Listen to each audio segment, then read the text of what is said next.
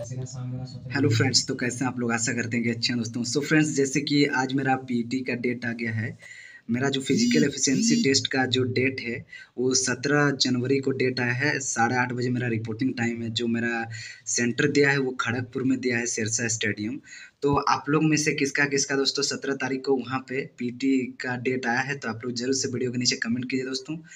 चलिए दोस्तों all the best यार, जिसका डेट अभी आया नहीं है, वो बढ़िया से तैयारी करे, जिसका डेट आ गया, उसको मेरे तरफ़ से ऑल द बेस्ट दोस्तों।